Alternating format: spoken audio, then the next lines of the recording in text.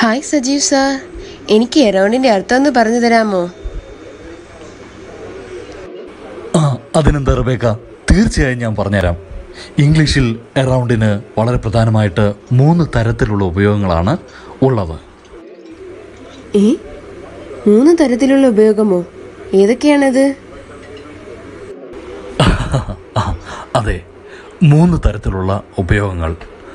ഒന്നാമതായിട്ട് it means on all sides of എല്ലാ വശത്തേക്കും എന്ന് പറയുന്ന ഒരർത്ഥം. ഉദാഹരണമായിട്ട് ഈ സെന്റൻസ് ഒന്ന് നോക്കൂ. There was a wall around the house വീടിന് ചുറ്റും ഒരു മതിലുണ്ടായിരുന്നു. അല്ലെ? എല്ലാ വശത്തേക്കും ഒരു മതിലുണ്ടായിരുന്നു എന്ന് പറയുന്ന അർത്ഥം. എന്താ ഒന്നാമത്തെ അർത്ഥം എന്താ Rebecca?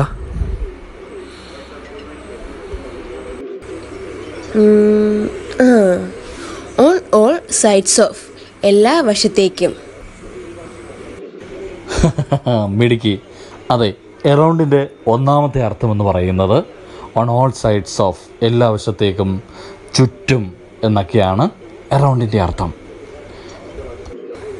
ഓ എല്ലാ വശത്തേക്കും ചുറ്റും അല്ലേ? ആ ഇനി അടുത്ത എറൗണ്ടിന്റെ അർത്ഥം നോക്കി. Around can also mean nearby അതായത് അരികിലായിട്ട് അടുത്തായിട്ട് എന്ന് പറയുന്ന ഒരർത്ഥം. ഈ ഒരു ചോദ്യം ഒന്ന് കേട്ടെ.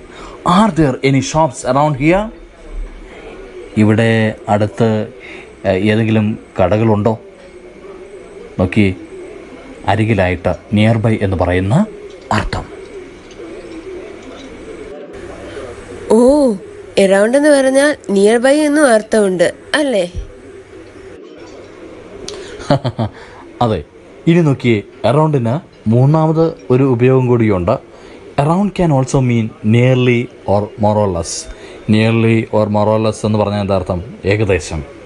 ഉദാഹരണത്തിന് we will get home around two o'clock if you start walking now നമ്മളിപ്പോൾ നടക്കാൻ തുടങ്ങിയാൽ ഏകദേശം രണ്ട് മണിയാകുമ്പോഴേക്കും നമ്മൾ വീട്ടിലെത്തും. നോക്കിയേ ഇവിടെ അറൗണ്ടിന്റെ ഉപയോഗം നിയർലി ഓർ മൊറോലസ് ഏകദേശം എന്ന് പറയുന്ന ഒരർത്ഥം. Thank you sir thank you so much